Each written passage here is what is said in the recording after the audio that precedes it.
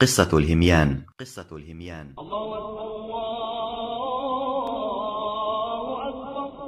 كان أذان الفجر يصعد من مآذن الحرم في مكة في أول يوم من رمضان سنة أربعين ومائتين للهجرة.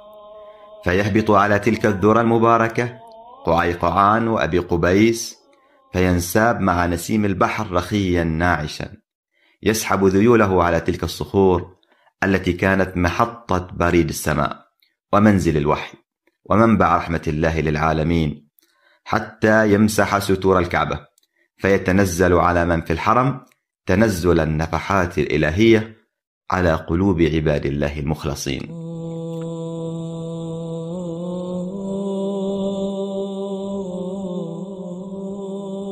وكانت صفوف المؤمنين قائمة للصلاة تدور بالكعبة من جهاتها كلها. صفوف في الحرم ترى الكعبة وتنعم بالقرب منها. وصفوف لا تراها ولكنها تتوجه إليها وتبصرها بقلوبها. تقوم وراء الجبال الشم والبحار في المدن والقرى والصحاري والسهول والأودية والقمام والأكواخ والسجون والمغائر في القفار المشتعلة حرا والبطاح المغطاة بالثلج. تتسلل وتتعاقب لا تنقطع ما امتدت الأرض وكان فيها مسلمون. وأما أهل مكة البيت الحرام ولم يبق في داره إلا شيخ في السادسة والثمانين عليه قميص مشدود بحبل وقاموا للصلاة ما يستطيعون الوقوف مما حشدوا به بطونهم من طيبات الطعام من كل حلو وحامض. وحار وبارد وسائل وجامد ووقف يصلي وما يستطيع القيام من الجوع.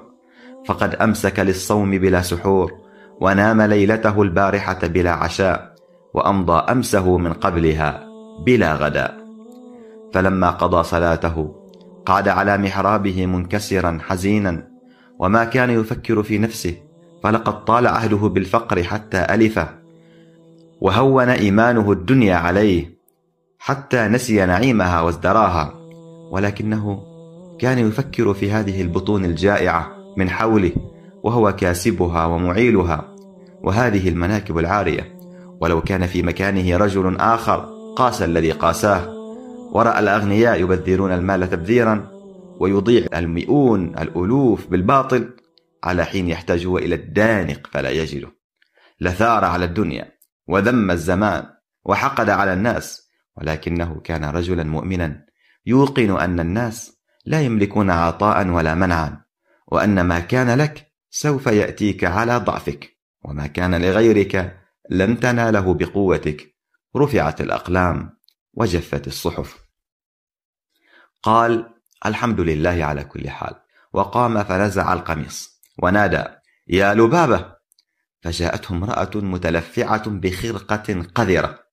فدفع إليها بالقميص وأخذ الخرقة فالتف بها. فقالت المرأة يا أبا غياث هذا ثالث يوم لم نذق فيه طعاما وهذا يوم صيام وحر فإذا صبرت وصبرت أنا فإن البنات والعجوز لا يقدرون على الصبر وقد هدهن الجوع فاستعن الله واخرج فالتمس لنا شيئا فلعل الله يفتح عليك بدوانق أو كسيرات ندخرها لفطورنا. قال أفعل إن شاء الله.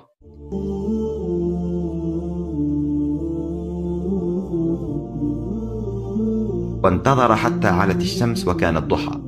فخرج يجول في أزقة مكة وطرقها.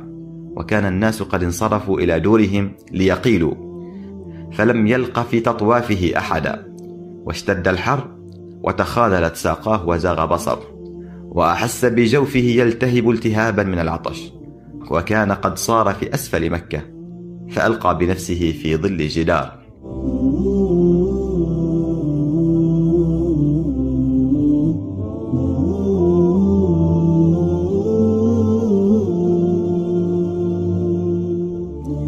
وكان من أكبر أمانيه أن يدركه الأجل فيموت مؤمنا. فيتخلص من هذا الشقاء. وينال سعادة الأبد. وجعل ينكت التراب بيده.